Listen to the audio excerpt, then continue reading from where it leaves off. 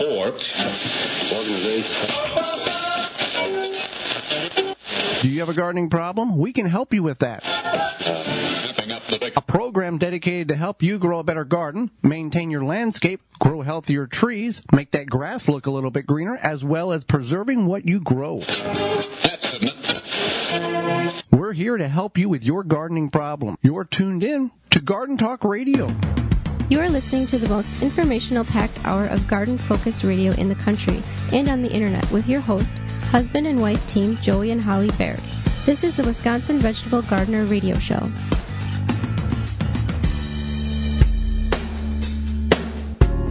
Welcome to the Wisconsin Vegetable Gardener Radio Show. Thank you for taking time out of your day. The Wisconsin Vegetable Gardener Radio Show is presented to you by Power Planter Earth Augers, the official digging tool. To find the right size for your digging project, visit powerplanter.com. Thank you for taking time out of your day and joining us to talk gardening for the next hour. Whether you're listening through your radio on one of the 16 stations our show is being broadcast across the United States in 2020, or through a radio app, or the WisconsinVegetableGardener.com website, which is our website, and under the season four tab at the top of the page.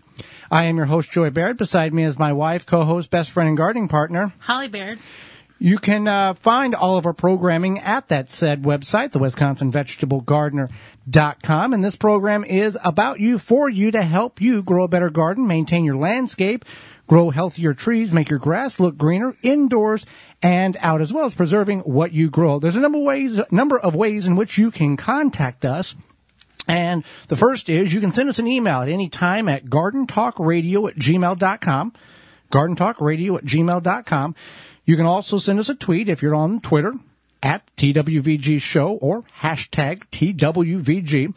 You can follow us uh, on our social media platforms. You just search the Wisconsin Vegetable Gardener on anything and you'll find us as well as you can give us a call anytime 24-7 at our number is 1-800-927 show 1-800-927-SHOW. If we can't get you on the program, leave a message. We'll call you back and address and answer the question in which you called about. So, uh, we're going to get in the program here. I wanted to give a shout out to the listeners up there in the Boston area on WCRN radio. We heard from a number of you last week from the program and we want to just say hi to you as well as everyone else that listens, uh, not only during our regular broadcasting schedule, but on podcast replay and in studio video replay that uh, you can capture all the shows uh, on the, those platforms. We got a big show lined up for you, as we do every program. We don't go into a program going, well, we'll just slide through this one. We're going to be talking about how you can grow great tomatoes, as well as irrigation in the second segment. And our guest, she's an author and podcaster, Melissa Norris, will be with us and will answer your garden questions. So let's get into the topic of the program, the first topic, and that is growing great tomatoes, Holly. Most everybody that we know grows tomatoes, or 90 some odd percent of people who garden grow tomatoes. Either it's one or a hundred or somewhere in between. But there is some techniques. Tomatoes is not an easy crop to grow. No, especially in the Midwest or northern climates because you're basically trying to grow a tropical plant in a non-tropical area. And tomatoes also can be, especially heirloom tomatoes, they can be a little bit tricky. Now, if you grow something like a hybrid, you are usually pretty pretty good. Well, let's talk about where to start because now here in the northern portions of the United States, uh, many of our listening areas, we're just getting to the point where we're getting very close to planting uh, tomatoes, and there are you know other places that are listing that have already planted them. This is applicable for everybody. There are techniques in which you can exercise now, even if your tomatoes are in the ground, and also techniques in which you can practice and utilize before putting the tomatoes in the ground as well. So we'll start with seeds. Uh, you talked about heirloom and organic seeds, uh, hybrid seeds you can um, every, most everybody who starts a garden they get a seed from, or they get a transplant from their garden center, or they start seeds indoors. However, you had a different upbringing uh, whenever you started the gardening, whenever you were a kid, Holly. Right. So I grew up in in Milwaukee, and we had a very small backyard. And How small was it? it was like the size of a postage stamp. I'm not even sure. Probably mm, 200. No, more than that. I don't know. Eight, 80 feet maybe by 20 feet. I don't know. Whatever. So, um, it was not big. And To some we- people, that's pretty big. But yeah, well, go, I don't think it was that. I don't. Whatever. So, um, so we grew a four by four garden, four foot by four foot or so, and we grew a lot of things. And we did not buy seedlings. I didn't know that seedlings were a thing that you transplanted. We just started our seeds right in the ground. So Memorial Day weekend, that's when we planted. you physically put the seed of the tomato, the pepper, the eggplant in the ground. There was no taking the seed, seedling out of a tray and planting it. No. Nothing. We you just got the seed packs from wherever. wherever, yeah. probably uh, the one local independent garden center, and yeah, that's what we what we did. Well, let's. Well, okay, you, you can do that. However, transplanting. You can you can do that now if you. But the thing is, is that, and you failed to mention this because you're such a fan of seedlings. If you plant your seeds in like in Wisconsin, southeastern Wisconsin, it's usually typically uh, Memorial Day weekend is when people plant their tomatoes. If you plant your seeds and you plant your seedling, they're gonna grow at the same rate. They're gonna typically produce at the same rate. Yeah, they're going to because here's the thing. Let's say a tomato is 85 days to harvest. That's not 85 days from six to eight weeks before your last average frost date when you started your seed in your greenhouse or in your grow room. It's 85 days from the time you put that seedling in the ground and then you put a seed in the ground. At 85 days, that's when the counter starts for both of those particular plants, and they will harvest at the same time. The advantage to starting seeds or using seedlings, uh, plant starts, is you can see if the plant's going to be healthy, if the seed actually germinates, and you can get a good start, and then the counter begins on that. Well, what type of plants are best? Is there with the heirloom, organic, hybrid, but variety wise, it really determines the geographical area in which you live. Example, San, what is it, San Marano? So, San Marzanos. uh, they, and even like Roma's, Amish paste, any of those paste tomatoes, they typically like more of a Mediterranean type climate. So, um, if you're not familiar with the Milwaukee area, it's on Lake Michigan, and where Joey and I live, we live very close to Lake Michigan. But where our big garden is is more inland. It's probably about eight to ten miles more inland, and so it's a little bit different climate. Um, as during the summer and spring and fall, um, it's typically cooler near the lake. So the closer you are to the lake, the cooler the temperatures are, and so that provides a different type of growing um, climate. And so you got to think about that. If you don't have success growing a certain type of tomato, don't feel like you failed. you, you, ha- you have to ask around. Mm-hmm. What works best in your particular growing area? Uh, and that's another thing. I mean, with anything, if you don't have success growing it, don't feel like you failed. But I think the biggest thing is when you're growing tomatoes is to grow a variety. Yes, you might want like all paste tomatoes, but if you don't have a plant that is acting, or sorry, not acting, growing profi- prolifically, and you're trying to grow only that type of tomato, you might be disappointed. So Well, you want to try, especially if you're new to growing tomatoes, you want to try different varieties. And, and, and if you have the availability to grow 12 tomato plants, try to grow about three different varieties or four different varieties, a couple of each. And it just, it, it morphs back to growing up on the farm. We would get seed corn, seed soybeans. It wouldn't be one variety. We would have six, well, I think five or six or seven varieties over, you know, the, the two or three or four hundred acres that we were planting because one was supposed to be drought tolerant. The other was supposed to be a heavy, you know, that type of thing. They're all hybrids and GMO seeds. But anyway, you didn't just buy enough for 400 acres of all one variety. You, and then sometimes in fields, you would plant different varieties in that field, uh, for a variety of different reasons too. So, uh, uh, the other thing that people get tripped up on when planting tomatoes is soil temperature. It's warm today, let's put them in the ground, and then the next day it gets way, way cold. You have to look at the long range forecast, and that soil temperature needs to be about 50 to 55 degrees minimum consistently at root zone. And I think the thing is, is that a lot of people get excited, especially beginning part of May, if you're in a climate that typically you don't plant your tomatoes till after Memorial Day or around Memorial Day. You you get sometimes we get those like 60, 70 degree days in the beginning of May. And then, or even at the end of April, right where we are now sometimes. And you're like, oh, I can plant my tomatoes. I can start a month early. But then the temperature tends to dip and there's still warnings of frost and that's not good for your plants. So you want to plant them smart. You want to look at the long range forecast. You want to think about what you typically do year after year. And the old saying is, I'd much rather plant my plants one time than the second time when my neighbor plants theirs the first time. So it's okay to wait because it will catch up to you whenever it gets, you know, the, the tomatoes and peppers, they're going to sit there and just not do anything. And they're going to have to fight and struggle to keep them alive when you probably should have waited an extra week or two before that. Well, let's let's uh, let's go into some items when we get our tomatoes planted. We want to plant them deep. Unless you've got a grafted tomato. If you have a grafted tomato, those are more expensive. We don't really recommend grafted tomatoes, but I don't think that's really important because I don't know many people who plant grafted tomatoes. well, we need to make that information. Well, right. Yeah. So this is plant them deep unless it's a grafted tomato. Right. So with that being said, when you when you plant them deep, Joey, explain your process. Uh, you want there's all, everywhere on the stalk of the tomato you'll see hair follicles. Those can relate and develop into roots if soil touches them.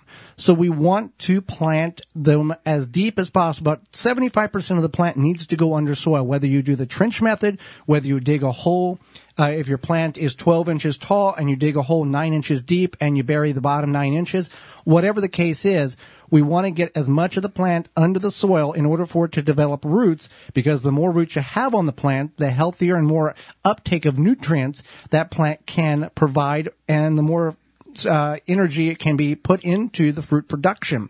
So we want to be aware of that. Also, when we're planting deep, uh, we want to remove the leaves and the limbs of those that will be under the soil level.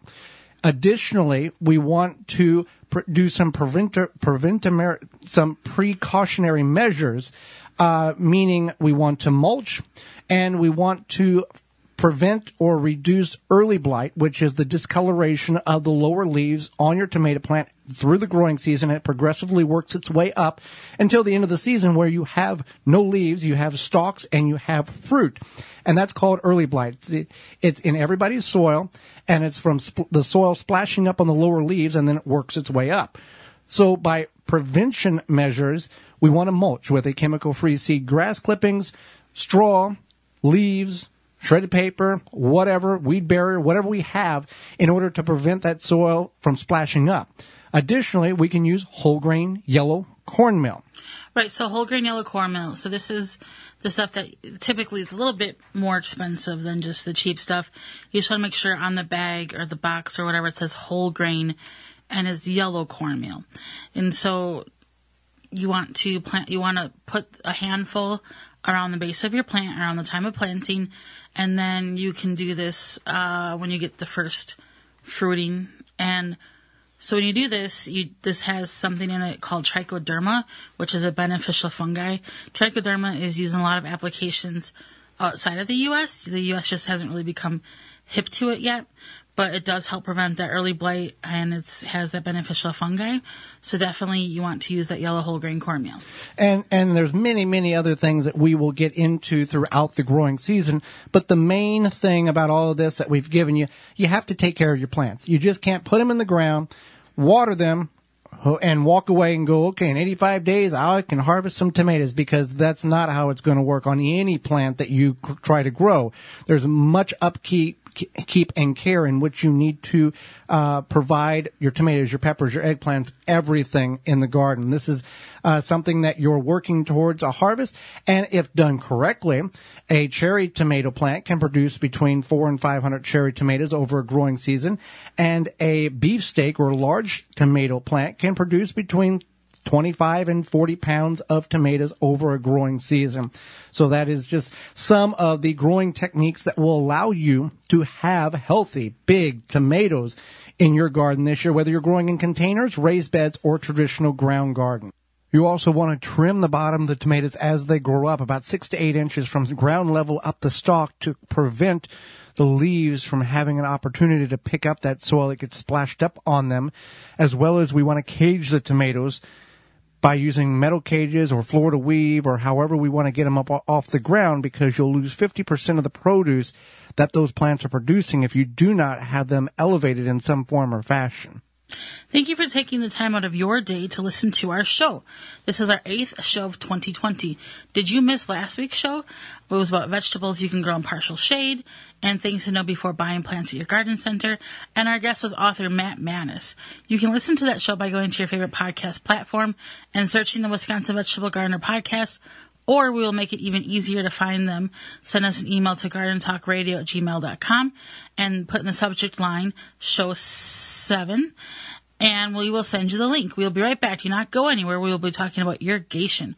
You were listening to the Wisconsin Vegetable Gardener Radio Show, a program to help you grow a better garden, maintain your landscape, help your trees grow better, make that grass look greener, and preserving what you grow indoor and out. You can bet the Wisconsin Vegetable Gardeners phone lines are always jammed during the show.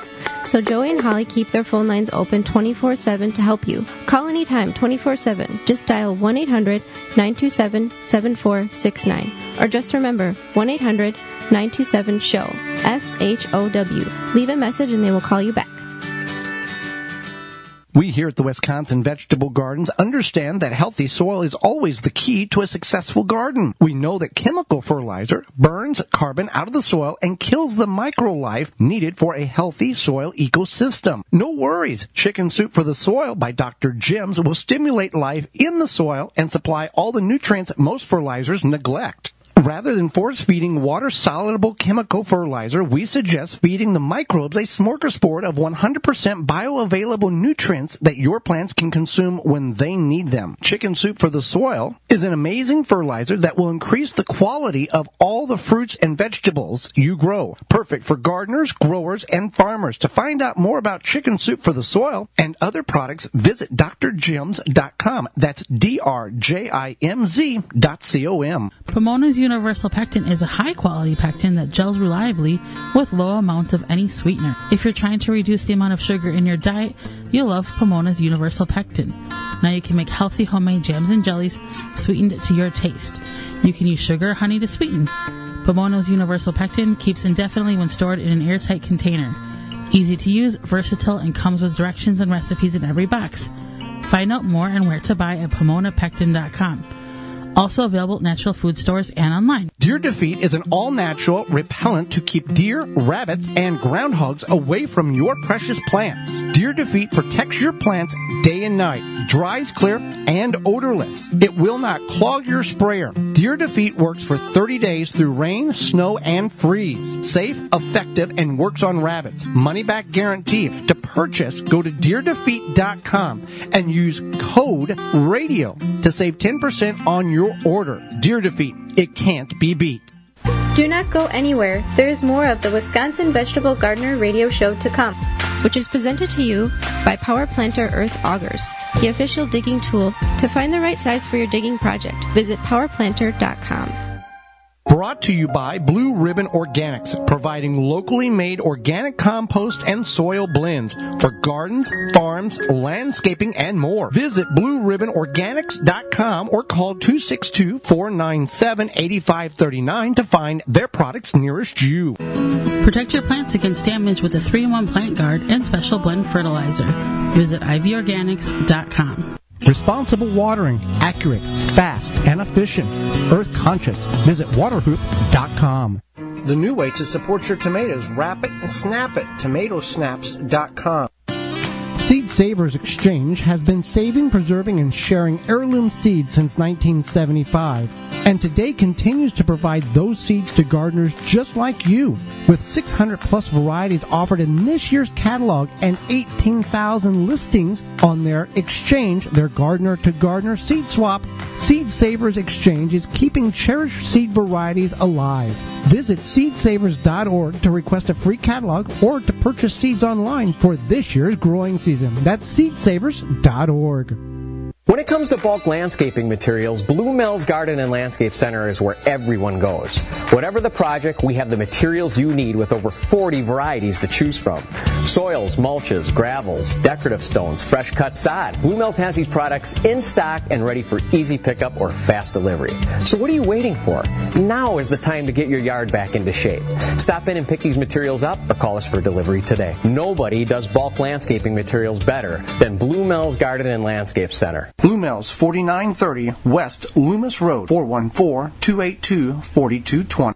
The Wisconsin Vegetable Gardener Radio Show is brought to you by the following. Neptune Harvest, Happy Leaf LED, Dripworks, We Grow Indoors, Deer Defeat, Harvest More, Blue Ribbon Organics, Mills Landscape and Garden Center, Chip Drop. Find all sponsors at the WisconsinVegetableGardener.com and thank them for their support.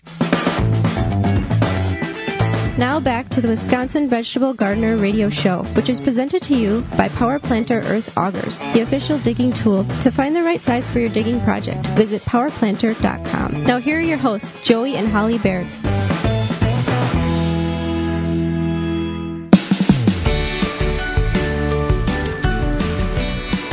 Welcome back to the Wisconsin Vegetable Gardener Radio Show. Thank you for tuning in this week.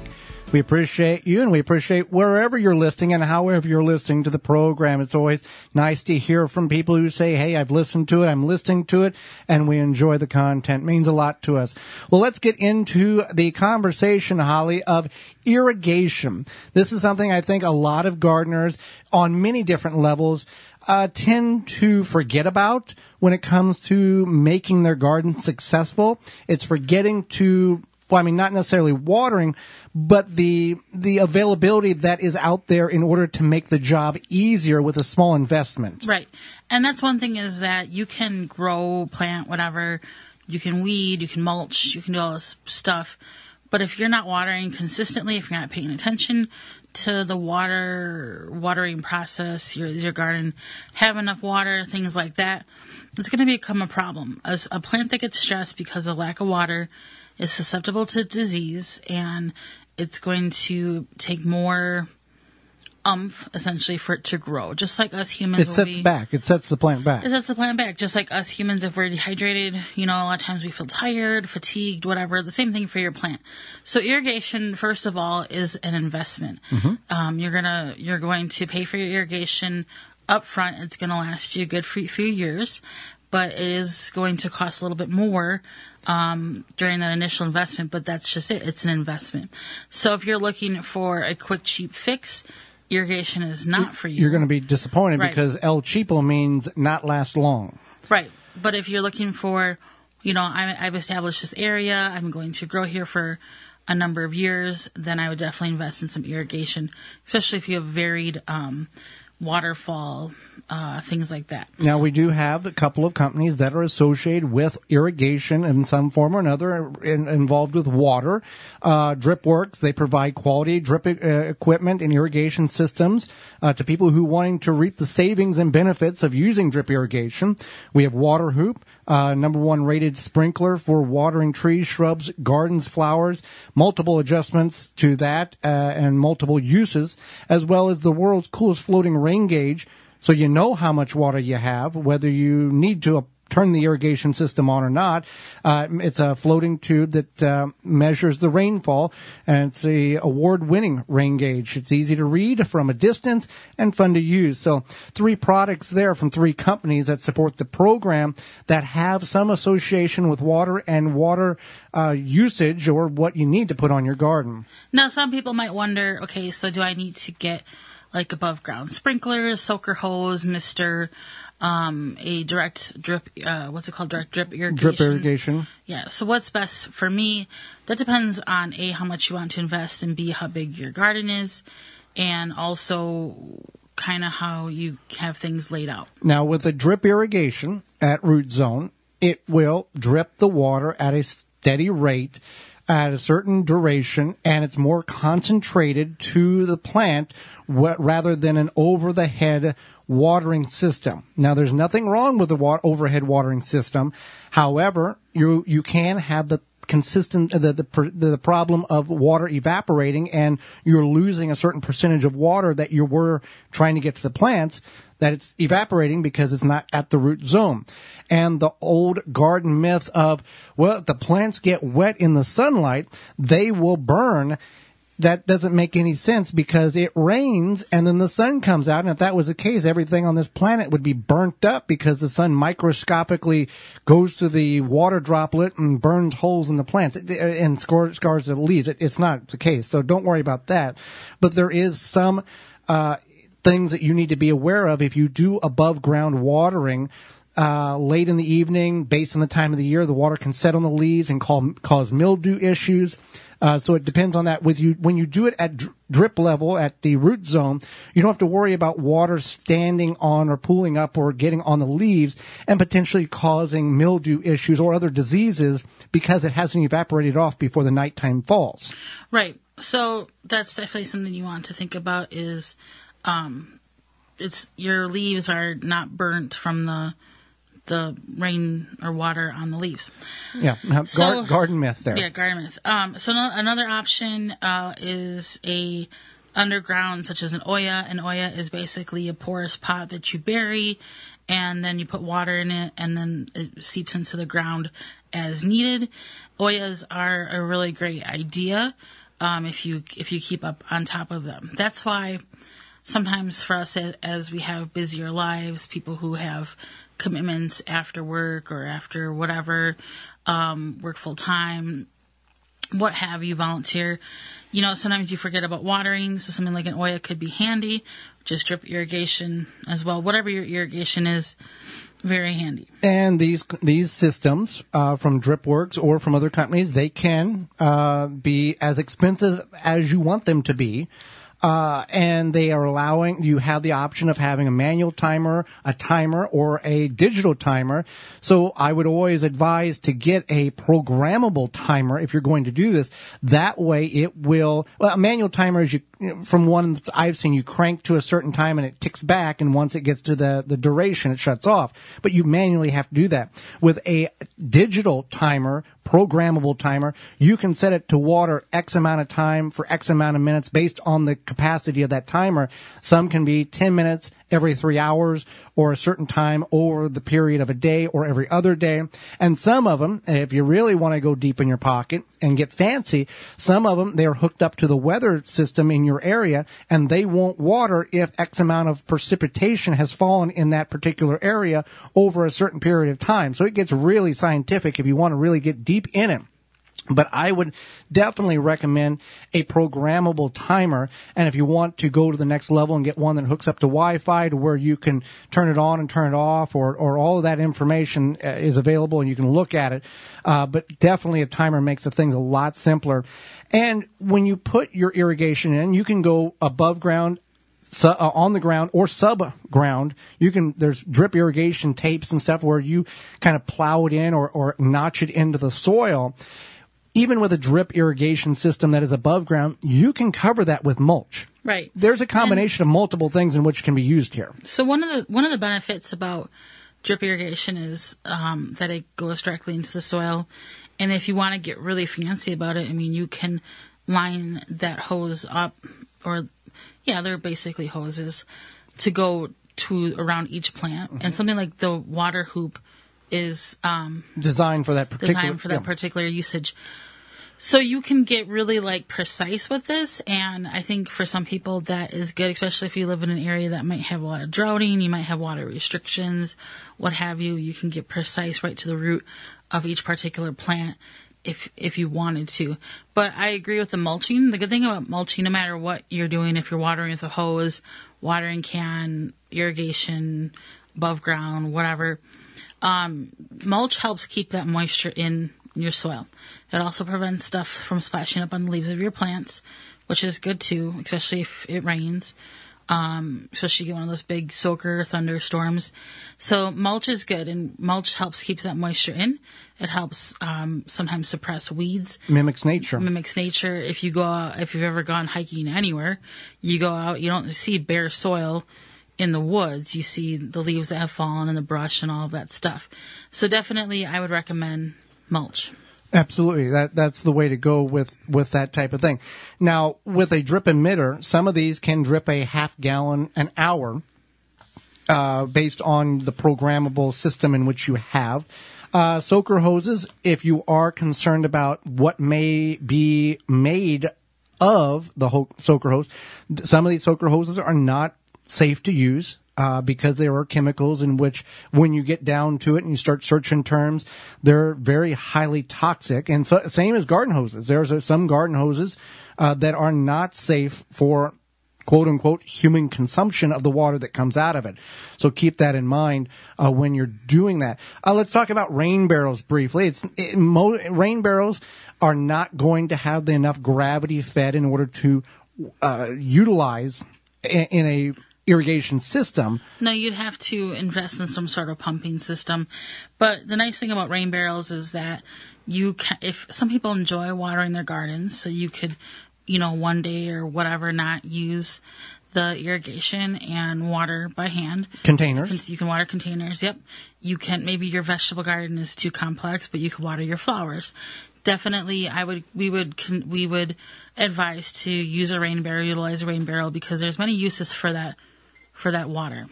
Uh, and whenever you do a rain barrel, put it up high enough on a pedestal in which you can utilize the gravity fed on it so you're not trying to um, fight with it in order to get the water out of it. So irrigation, take a look at it, see if it's something that works for you. Uh, they've got irrigation for containers as well as raised beds and ground garden. Well, it is warming up, and I know you want to make sure you can enjoy your yard without sharing it with beetles and grubs. Absolutely. Uh, with spring right about here in just a few days, if not already here for many of us, it's time to start thinking about how to control those beetles and grubs in your garden and your yard. Well, Grub Gone is here, and Grub Gone can be applied directly to the turf, garden, or around ornamental trees to control those grubs and lessen the impact of beetles that have been devastating your yard for years and your garden, and you can take care of it all summer long. It's easy uh, to use. It's biologically specifically targets grub and beetle invaders without harming beneficial insects such as bees, ladybugs, and butterflies. And to be honest, it's the only non-chemical that works. You can go to phyllombioproducts.com. That's P-H-Y LLOM bioproducts.com. It works very well and it's organic and you if you have not used it, you need to look into it. Well, we'll be right back. Do not go anywhere. We will have Melissa Norris, author and uh, podcaster with us. You're listening to the Wisconsin Vegetable Gardener Radio Show, a program dedicated to help you grow a better garden, maintain your landscape, grow those trees healthier, make your grass look greener, as well as preserving what you grow indoors and out. Got a question for Joey and Holly? Send it via email anytime to gardentalkradio at gmail.com. Planting conditions are always favorable with the Power Planter Earth Auger. No matter what the job is, Power Planter has the right size for you. Simply attach to a drill and let the Power Planter do the work for you, creating holes fast and efficiently with ease. Find the size that fits your project at powerplanter.com. Tree Ripe Citrus Company has top quality produce that comes right to your neighborhood with the freshest peaches and blueberries you'll find. To find locations, go to tree-ripe.com. Do not settle for the rest when you can have the best peaches and blueberries with Tree Ripe Citrus Company. Go to tree-ripe.com. Make watering easy. DripWorks provides quality drip irrigation supplies and equipment to gardeners just like you for all your growing needs across the U.S. and Canada. Purchase online at dripworks.com. The number one key to healthy, productive plants are the roots. Starting from seed to full grown plants, rootmaker.com has the answer. From seed starting trays with an innovative design that air prunes the roots, creating a fabulous root system, never again will you have root bound plants. To multiple gallon grow bag sizes to raised beds, rootmaker.com has your grow needs covered. Visit rootmaker.com. Use coupon code TWVG at checkout and get 10% off your entire order. Do not go anywhere. There is more of the Wisconsin Vegetable Gardener radio show to come, which is presented to you by Power Planter Earth Augers, the official digging tool. To find the right size for your digging project, visit powerplanter.com. The Simply Solar Greenhouse is a one piece molded fiberglass greenhouse that is easy to install and maintain. Multiple sizes available. Check them all out at migreenhouse.com. The Wisconsin Vegetable Gardener Radio Show is brought to you by the following. Phyllom Bioproducts, Spartan Mosquito, Dr. Jim's, Nasala Kabucha, MI Greenhouse LLC, Green Gobbler, Water Hoop, Seed Savers Exchange. Find all sponsors at the WisconsinVegetableGardener.com and thank them for their support. Blue Mel's Landscape and Garden Center is the place for all things gardening. We had another load of compost delivered to our garden this past week, and they are busy. So now is the perfect time to get your products scheduled for delivery on your property. They've got 40 varieties to choose from, from compost to wood chips to sand to gravel and everything in between, as well as their their greenhouse, their nursery. Their greenhouse will be open in a matter of weeks. There will be some rules and restrictions on how to go in and purchase plants, but they will have that available. So so be looking for that. You can find all this at Blue Mel's Landscape and Garden Center at 4930 West Loomis Road, just off of Layton in Greenfield. You can give them a call at 414-282-4220 and check everything out at bluemels.com. Now back to the Wisconsin Vegetable Gardener Radio Show, which is presented to you by Power Planter Earth Augers, the official digging tool. To find the right size for your digging project, visit powerplanter.com. Now here are your hosts, Joey and Holly Baird.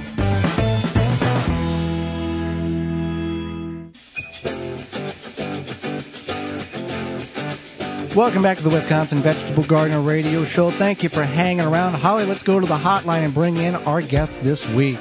Melissa Norris is all about living homegrown, handmade, and modern day modern day homesteading. She is an author, blogger, and a podcaster. Welcome to the program, Melissa. Thanks. Excited to be here, guys. Well, thank you for taking time out of your busy schedule to join not only Holly and myself, but all of our listeners from across the country that tune in to our program. Yeah, I love talking about this and helping other people. So I'm ready. So let's start with this. What is a modern day homesteader and can you, can anyone be a modern day homesteader? I know with this type of situation that we're currently living in, many people are figuring out that they're something that maybe they never knew they were. Uh, to a to a prepper or a homesteader or a survivor, I don't I don't know what we want to deem that as, but what is a modern day homesteader? So I classify a modern day homesteader as someone who is looking to be as self-sufficient as possible. And that is growing their own food, making homemade items, not buying it from the store, but still using modern appliances. I mean, modern things to a degree. So it doesn't mean you have to live totally off grid, that you aren't connected to society, that you live way up on a mountaintop and that you never come down. And so, yeah, anybody can be a modern day homesteader because honestly, homesteading is a, a mindset first and you can homestead anywhere that you live. Now, if you live in an apartment, high five to my apartment homesteaders, you might not be able to raise livestock. You might not have acreage to do as much as someone else, but there's all things. I mean, everybody, no matter where you live, there's things that you can do. And for a lot of people, that's going to start in the kitchen. And a lot of people right now are realizing this. There isn't homemade I mean, there's not homemade bread on the store shelves, amen, but there may not be bread even on the store shelves. There may not be some of those in, in things that people are used to buying or for states who have shelter at home things, they're not supposed to be going out to the stores as often. And so people are having to learn to make homemade versions more so than maybe they ever have in the past. So anybody can start in the kitchen with homesteading and creating more of their own food and doing it from scratch, but even in apartments, you can raise, you can do a vegetable garden in pots. You know, it may be a few herbs just on the windowsill if you don't even have a balcony, but you can do something. And that's the thing. I was watching a, a YouTube video of, of a home, homesteaders in the Ozark area, and they said this really hasn't affected us because we don't go to town. We only go to town about once every 45 days anyway. Uh, so it really is nothing new to us and we work from home. So, uh, nothing new. But there are people now realizing, uh, in the state that we are in, uh, the conditions that, you know, I have to buy more. I need to prepare because otherwise, prior to this, just went to the store every other day to grab a few things and never was, hey, I need to buy enough for a week or two weeks or X amount of weeks in advance. Yeah, exactly. A lot of people are running into that and then they're like, okay, we want to have this item. It's not at the store. I can't go to the store to get it. And so they're now looking for ways to make it at home. And, you know, we live pretty rurally and I try not to go to the store usually like two times a month. And I, I've got kids and, and things and they've got, normally they have outside outside activities. So I'll be going to different sporting events, but my goal is to only go grocery shopping once or twice a month. And that's mainly for perishables. One of the only things that we're not self-sufficient with here on our homestead is I don't have a dairy animal. We raise all of our own meat and most of our vegetables and fruit, but I do go and get milk and cream and butter because I consider those definite essentials. Um, but yeah, it's having, uh, you know, stocking up and you really don't have to stock up on as much stuff as people think. If you've just got some basics, there is so much that you can make with just a few basic things like flour. You don't even have to have store bought yeast. You can use flour and water to make a sourdough starter make your own homemade yeast. And then if you've got water and salt, you can make quite a few different types of breads. And then if you just have a little bit of fat and an egg, maybe a little bit of butter or coconut oil, I mean, you're pretty much set to bake and make almost anything that you would normally be buying from the store. That's pretty amazing. Now, even if somebody lives in an apartment or has very little space to grow, what can they do to have their own little homestead where they do um, have some self sufficiency with vegetables or fresh, uh, yeah, some fresh vegetables? Yeah, well, one of the things is and almost everybody can do some type of herbs. Herbs are great because they don't you can do them in a very small pot. I've actually grown basil in the winter months just inside a quart sized mason jar. so I say that you can do herbs and herbs are great because they offer so much flavor for being a small plant. You usually only need a couple of teaspoons, maybe a tablespoon of fresh to flavor an entire dish, but it will really one, it gives you some fresh greens and nutrients, and you can do it in small amounts of space. And you can get a harvest relatively fast with things like basil, you plant them from seed and they're going to be providing for you within a month or so. Some other things that you can do if you live in an apartment or even in a small space. And we even do it in the winter months because we're so far north here that uh, there's, I can do very few things with that, even with cold frames is microgreens and sprouts. So you can grow sprouts in a mason jar with just some water and have sprouts, which are fresh greens ready to go in just three days time, no dirt. And microgreens you can plant in just a shallow, I just use old lettuce containers and you buy lettuce from the store and you know they have those like clamshell tops. I save those and you can grow microgreens in them. You can use a bread pan. You just need about two inches of dirt and you spread your seeds on top and you water it. And usually within two to three weeks, you've got microgreens that you can start harvesting and putting on sandwiches and in salads, into casseroles and soups, but it provides you with those, those fresh greens you don't even really need a grow light. A sunny windowsill will work for microgreens. Now, for microgreens and uh, sprouts, what varieties of plants are we utilizing, or can it be anything, or is there certain guidelines that one needs to follow? Yeah. So the beautiful thing with doing microgreens is you can really do any type of seed. A lot of people like to do sunflower seeds. Peas are great because if you do pea seeds, those are one of the few microgreens that you can clip off the tops and they will continue to produce for you. A lot of the microgreens like the sunflower seeds, um, broccoli is another one because broccoli sprouts have so much nutrients packed into them and vitamins but really any seed that you want, you can do. It's, they're not going to say like microgreen specific. You're just harvesting them when they are a small green and just have a few leaves on the top and they're tiny and tender, which is why we call them microgreens. So really anything, if you like beet greens, you might want to do beet seeds. Some people like a little bit of radish or even mustard greens because they can have a little bit of a bite and more flavor to them. But really pretty much any seed will work. Okay. So you have a new book called The Family Garden Plan. What is the book about? And do you have a particular notable part of the book or your favorite part, something you want, you know, uh, yeah, notable part? Yeah, I do. My, so my new book is The Family Garden Plan and it teaches you how to grow a year's worth of sustainable and healthy food. So one of my favorite parts and one of readers' favorite parts is the charts. So I have a ch- charts in there that walk you through exactly how many plants per person of both fruit and vegetables you need to plant and grow if your goal is to have a year's worth of that food. And so especially in, in this time right now when a lot of people are really looking to grow more of their own food than they ever have before, it's perfect because you don't have to guess how many plants do I actually need if I wanted to not buy this from the store and, and be self-sufficient with this item all of the worksheets and the charts are there for you. So you come away with a plan of exactly how much you need for your family. And it all helps you tailor it to your growing area and your growing space. So it, it's universal in that, but it teaches you how to customize it all for exactly the location that you are in. Now, I don't want to categorize it, but, but you can correct me if I'm wrong. So it's kind of like a modern day victory garden plant to chart what you need and how much to grow. Yes, that is a perfect way to put it. You nailed it. It is. Yes. Well, let's talk about this. You grew up on a homestead. Uh, but your spouse did not. What advice do you have for those who are in that mixed matched relationship of somebody who understands how to prep, but the other one kind of grew up in the city and, and not is not familiar with that type of, of lifestyle? Yeah. So my advice to new vegetable growers, or even if you, like you said, maybe you have someone who's got more experience and one is not, is one, not to overwhelm yourself. And I know I'm talking about growing a year's worth of food, so that might sound almost contradictory, but really focus on a couple of key crops and how you pick those key crops is for me is it's vegetables or fruits that you eat your family likes and you eat on a really consistent basis because that's going to have the most impact one on supplying your own food because it's something you eat all the time and you know your family likes. So i narrow it down that way.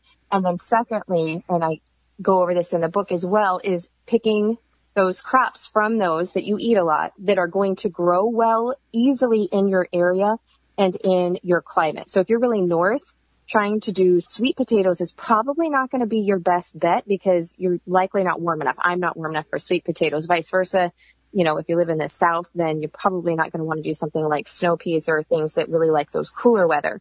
So people, myself included, we don't have you know, a lot of extra time, even in with the stay at home orders that we're in.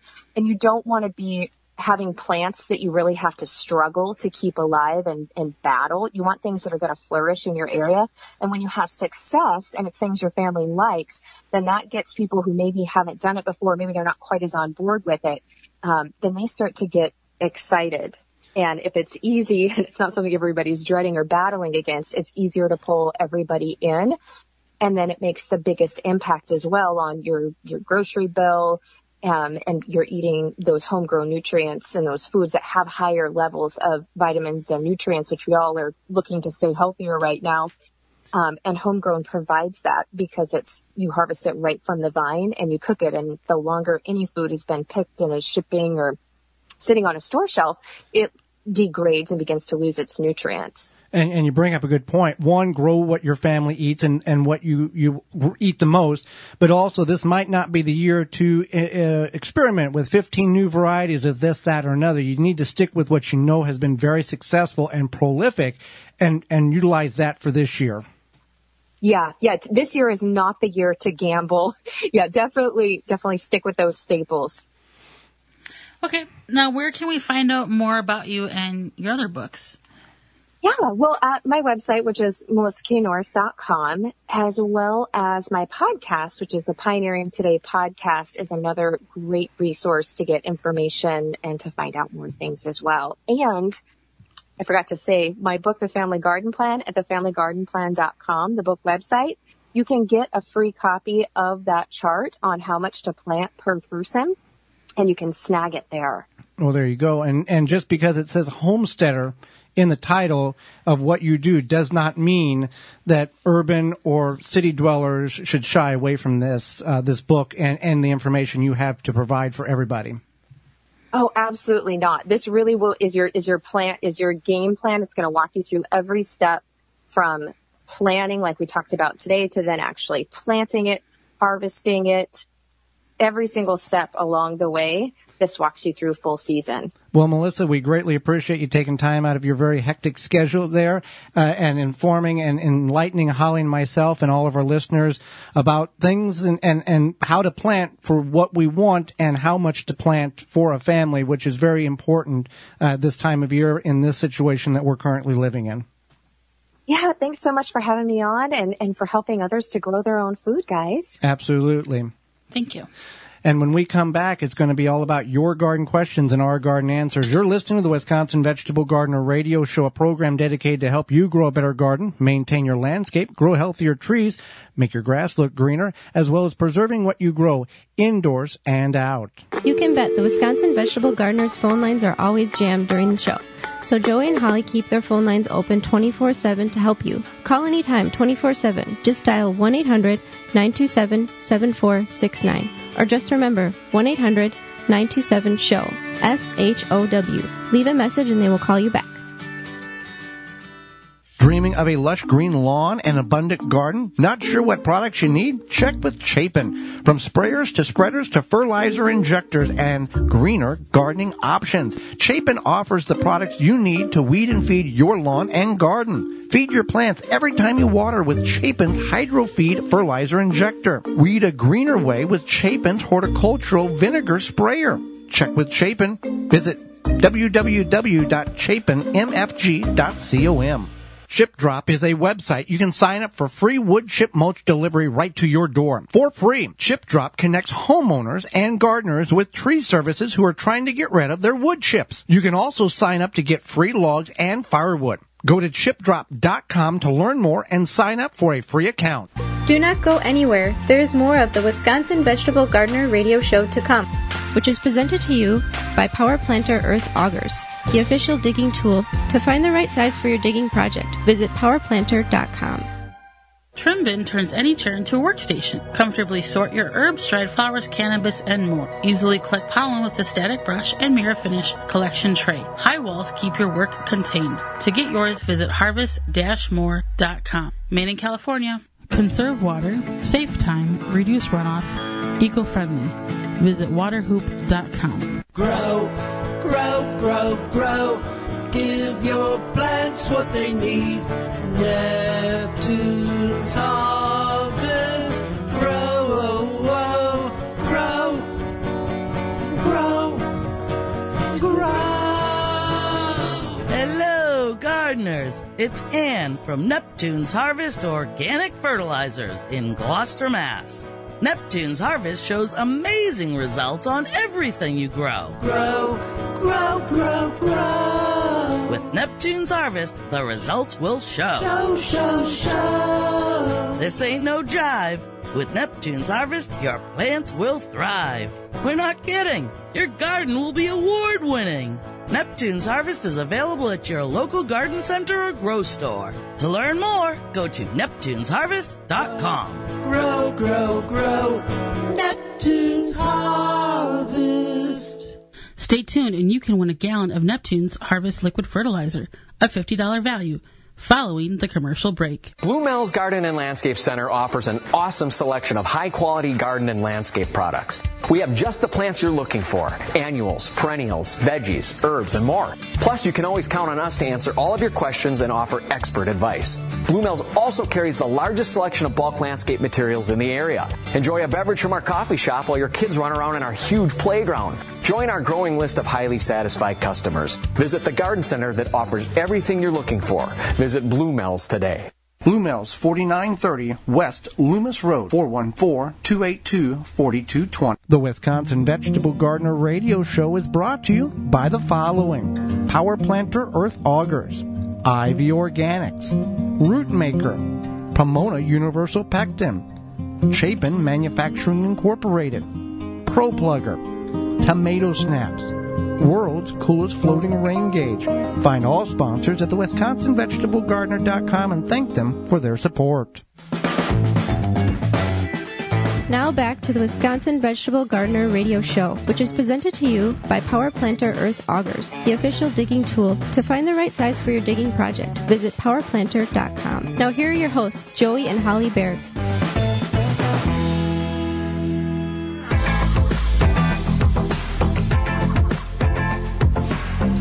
Welcome back to the Wisconsin Vegetable Gardener Radio Show. Had a great show so far. Going to get to your garden questions momentarily. You can find all the information out about what we do and all of our programs and past shows at the Wisconsin Vegetable Gardener.com. That's where everything is located. Well, during the break, you heard that you could win a prize package from Neptune Harvest. Holly, what is the rules, regulations? And then I will give the question and tell them how they can enter to win. Sure. So it's open to listeners 18 years and older living in the contiguous United States. The prize will be shipped to you. This ends on April 30th um, at 9 a.m. Central Standard Central Time. Standard Time. For the details, go to wisconsinvegetablegardener.com and click on the giveaway tab at the top of the page. To enter the chance to win, you must email gardentalkradio at gmail.com with the correct answer and in the subject line put enter me.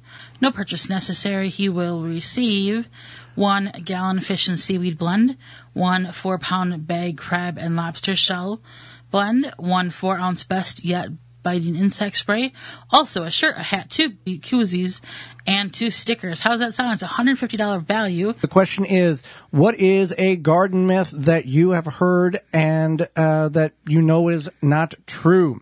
To enter, you can send one garden myth and you can email gardentalkradio at gmail.com with your name and the answer, and the drawing will be uh, this Thursday. Okay, let's get to some questions, Holly. Uh, If you want to send a question in, you can do that at gardentalkradio at gmail.com, or you can give us a call at 1-800-927-SHOW.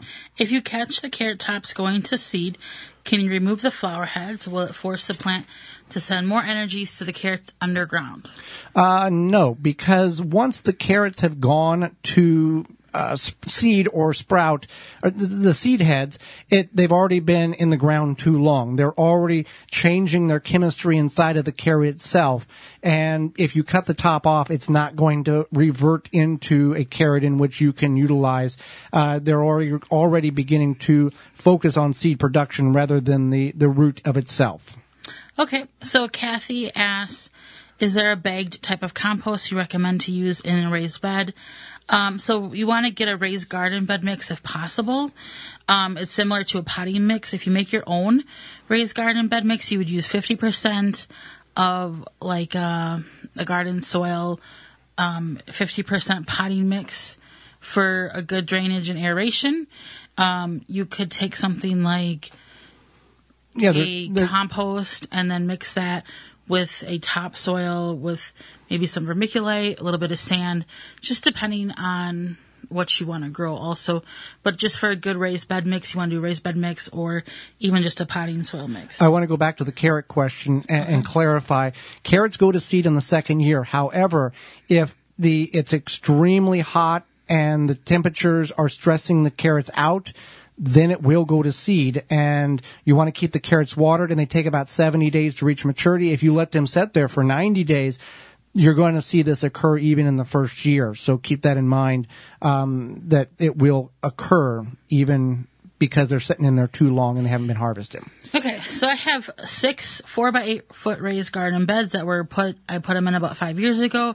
I was afraid to use treated wood, um, but now the carpenter ants love this wood. They're eating them up.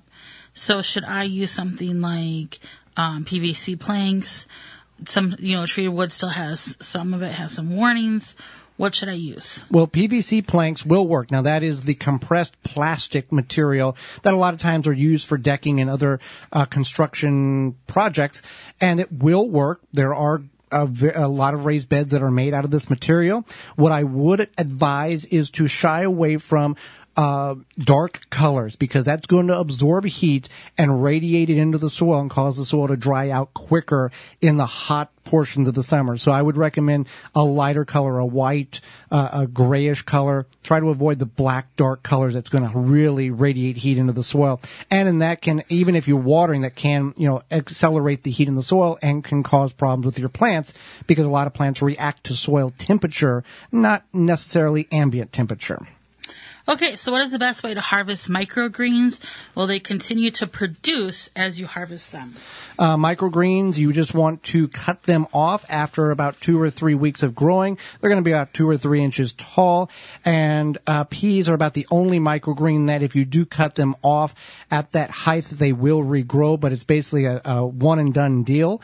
And you'd want to take an 11 by or 10 by 20 tray and plant the in succession so you don't have a whole tray of microgreens at one time. You could do it in thirds and that way you can have a little harvest uh, uh, uh, sustainably throughout a certain duration of time. So Emily asks, my beets say they tolerate frost, but if we need a certain temperature to germinate, should I germinate them inside, put them outside in the chilly weather as soon as I see the green buds so the green buds can be exposed to 30, 40 degree weather at night? Um, no. Uh, you can start beets inside. We've done that, and then transfer them outside and through the hardening off procedure at the correct time. By doing this, you're going to actually put the plant more in a shock than anything because you're taking it from, let's say, 70 degrees and then transitioning out to 40 degrees. The best thing you can do with beets is go ahead and plant them in the ground. We done it this week. The soil was a little on the cold side. However, in nature, the seed is going to sit there until the temperatures are adequate and then it's going to sprout. So don't worry about starting it indoors and then as soon as you've seen it sprouting, get it outside. Just go ahead and dir- direct sow it. Uh, and when I say when the temperature is adequate, I'm not saying the soil is 26 degrees. Let's go ahead and plant the seeds now. And then when it gets warm, I mean, if, if the seed needs to be planted at 50 degrees and it's 42 or 43, yeah, it's fine. Go ahead and put it in the ground. And then when the temperatures warm up, they will uh, grow and germinate just fine. One more question, Holly. Um, Bud writes in, I'm growing tomatoes in fabric bags this year. What model drip system do I need? Well, uh, we talked about a little bit in the second segment. Uh, DripWorks, they have a number of, uh, they have a couple of drip irrigation kits for containers. And uh, they have one that has a the timer or without with a timer or without a timer, and it can do up to 20 pots. And you can go to dripworks.com and look at their patio selection, I believe it's called, uh, container irrigation system, or deck garden irrigation system is the correct term that you would search for. And they can uh, set you up with anything and everything that you possibly could imagine in regards to irrigation for your containers that will work in the containers, the raised beds, and traditional ground. Well, we appreciate you taking time out of your day. We are out of our, we are out of time and we thank you for yours. Miss any portion of this program or want to revisit it, you can do that by going to the WisconsinVegetableGardener.com and clicking on the radio season four tab at the top of the page. Or we can make it easy for you. Send us an email at gardentalkradio at gmail.com and we will send you the link to the show. And if you're missing past shows, we can get you caught up on that, as well as we have in studio video of each program as well. Tell your garden friends that this program is on the radio and podcast because that's how our message gets shared to the world. Join us next week. On the show, we'll be talking about five good bugs you want in your garden and also five bad bugs you, you really don't want in the garden at all. And we'll talk farmers markets. Our guest will be our garden trend expert Kate Dubow will be with us and will answer your garden questions. And until next week for Holly Baird. I'm Joey Baird and we will see you in the garden.